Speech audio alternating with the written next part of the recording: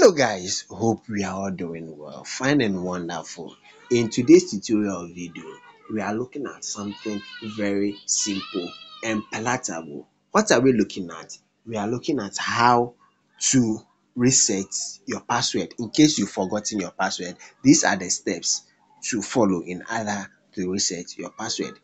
In order to set your password, you need two apps which is the messaging app and the email app. So you first of all try logging in into your Bolt account.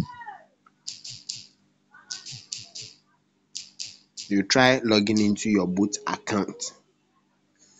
Since you have forgotten the password, there is no need for you to even enter the password but you just come down to where the forgot password is. You tap on it.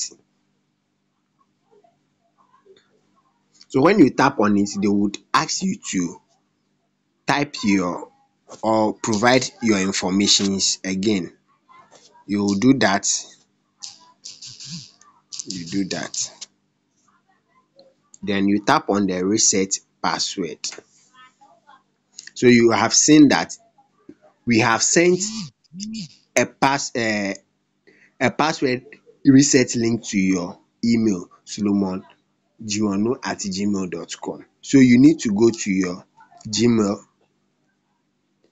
you need to go to your Gmail and see whether the email is in. To go to your Gmail to see whether the email is being sent or not.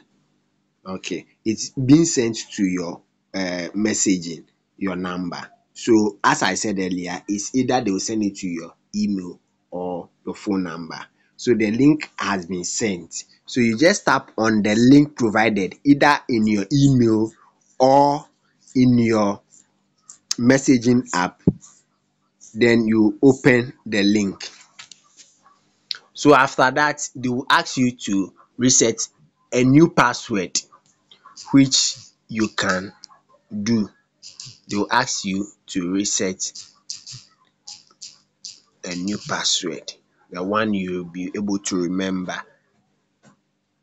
Then you tap on the submit. Okay, there should be a combination of words and dis thing. So let's add some. um okay.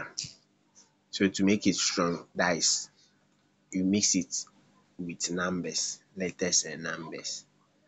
So you submit and you have successfully what? Set your password. Thanks once again for watching the video. Kindly like, comment and share and come back for more. In case you have any questions, you can leave it in the comment section. We will address and help you. Thanks once